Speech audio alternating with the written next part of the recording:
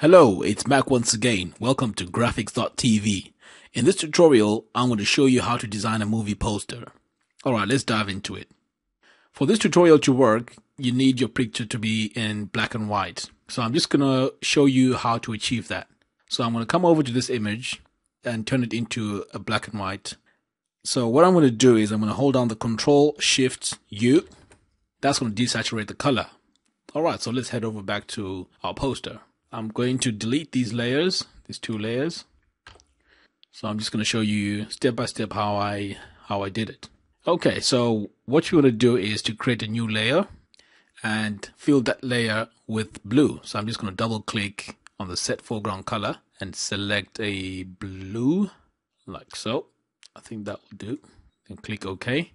And then we need to fill that layer with that blue. So I'm just going to hold Alt, backspace, and go over the op- uh, to the opacity and lower it down to about 60%.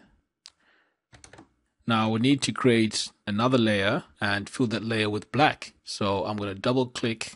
Actually, I can just hit the D key and then hold the Alt backspace to fill that layer with black. And then what we need to do now is to go to the layer mask layer mask icon and head over to the brush and make sure the black is the foreground and the white is the is the background. Okay, so what you want to do is if you want to click right in the middle, like so. Okay, see how we have this beautiful vignette thing happening right there. Okay, so that's about it. So what you want to do now is just to add the text, and voila, there's our movie poster. Okay, so if you have any questions, hit me up on Twitter at mak one seven, or head over to um, grafx.tv. That's G R A F X dot TV. Or you can leave some comments and let me know what you think about my tutorial.